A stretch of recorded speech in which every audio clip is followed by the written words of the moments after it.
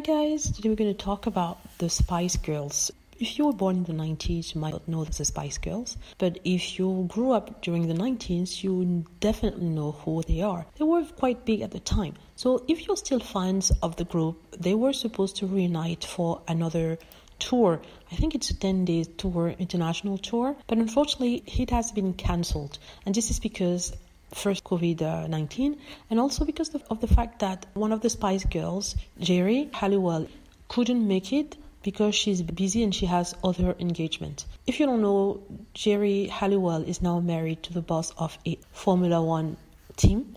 So she's loaded. She has a lot of money. She already had a lot of money from her life as a Spice Girl. And she was worth around, they said, $50 million dollars. Her man is almost a billionaire, so she has a completely different life to uh, that of her other colleagues or friends, apart maybe from Victoria Beckham, who's still quite big in England and in the world, who's now a designer. So yeah, she's not ready to go back to the Spice Girl. She wants people to forget that she ever, not that she was in that group, but that she was who she was at the time. If you took a picture, she's completely changed. She looks like an upper middle class woman who is. Uh, proper, who lives her lives and who doesn't want to be reminded of her past. That's how some people interpret it.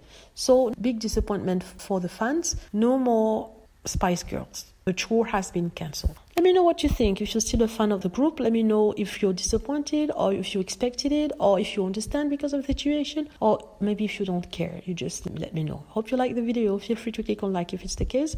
Subscribe for more videos and click on the notification bell to be notified when I post a new video. Thank you.